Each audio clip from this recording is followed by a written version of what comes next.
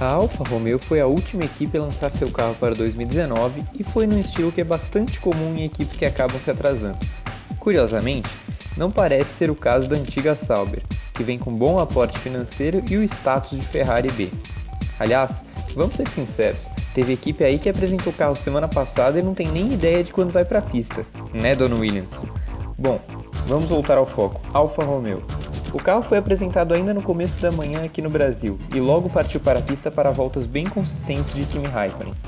A cerimônia foi bem breve, sem maiores exageros. Rolou aquela tradicional puxada de pano, no sentido literal da coisa. Isso lá em Barcelona e tcharam! A última pintura da Sauber estava praticamente reproduzida na nova Alfa Romeo. Ah, teve um vídeo nas redes sociais também e olha só, foram quase dois minutos, já é bem mais do que certas Renault, Toro Rosso. Bom, sobre o C38 em si, o carro é mesmo bonito, afinal a pintura lembra o belo carro da Sauber de 2018. Mas eu tenho lá minhas dúvidas se esse logo da Alfa Romeo grandão na lateral ornou com o resto.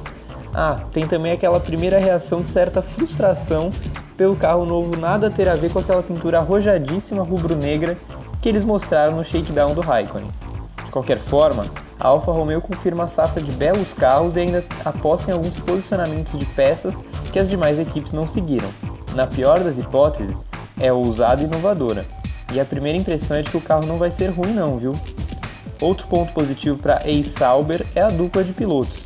A mescla entre Raikkonen e Antonio Giovinazzi tem tudo para ser das mais interessantes do grid. Vem aí uma forte candidata ao título da Fórmula 1B.